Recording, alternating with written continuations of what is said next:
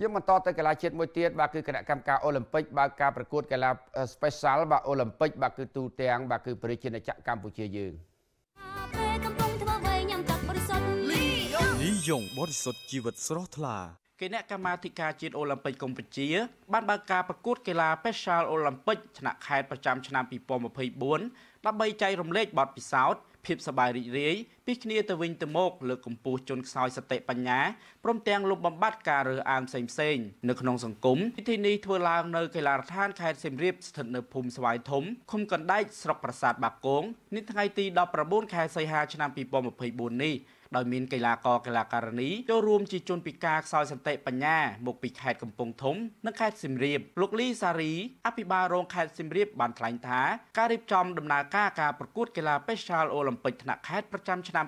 2024និងកម្មវិធីត្រួតពិនិត្យសុខភាពកីឡាករកីឡាការិនីខ្សោយសតិបញ្ញានៅក្នុងគោលបំណងគឺផ្ដល់ឱកាសឲ្យក្រុមកីឡាករកីឡាការិនីខ្សោយសតិបញ្ញាថ្នាក់ភូមិឃុំស្រុកខេត្តបានជួបជុំគ្នាដើម្បីធ្វើការប្រកួតប្រជែងដើម្បីចែករំលែកបទពិសោធន៍ភាពសប្បាយរីករាយពីគ្នាទៅវិញទៅមកឯកឧត្តមបន្តថាគណៈកម្មាធិការបានបន្តជំរុញនិងចូលរួមសហការជាមួយនឹងអង្គភាពជាដៃគូពាក់ព័ន្ធនានាដែលបានចូលរួមដល់ជនពិការសោយសតិបញ្ញាដើម្បីផ្ដល់ឱកាសដល់ពួកគាត់បានវឹកហាត់និងចូលរួមប្រកួតកីឡាដូចជាជនពិការដទៃដទៃទៀតនិងជនមិនពិការភាពផងដែរនេះជាការយកចិត្តទុកដាក់របស់រាជរដ្ឋាភិបាលកម្ពុជាដល់ជនពិការភាពគ្រប់ប្រភេទនិងជាការចូលរួមចំណែកនៅក្នុងការអភិវឌ្ឍច្បាប់ស្តីពីកិច្ចការពារនិងលើកកម្ពស់សិទ្ធិជនពិការកម្ពុជាឯកឧត្តមបានអំពាវនាវដល់អនុកម្មាធិការ Special Olympic រាជធានីខេត្តក៏ដូចជាអង្គការសហគមន៍នានាដែលគ្រប់គ្រងផ្ទាល់ជួយដល់ជនពិការខ្សោយសតិបញ្ញាសូមយកចិត្តទុកដាក់បីបាច់ថែរក្សានិងផ្ដល់ឱកាសឲ្យពួកគាត់បានហ្វឹកហាត់និងចូលរួមការប្រកួតនានាដែរ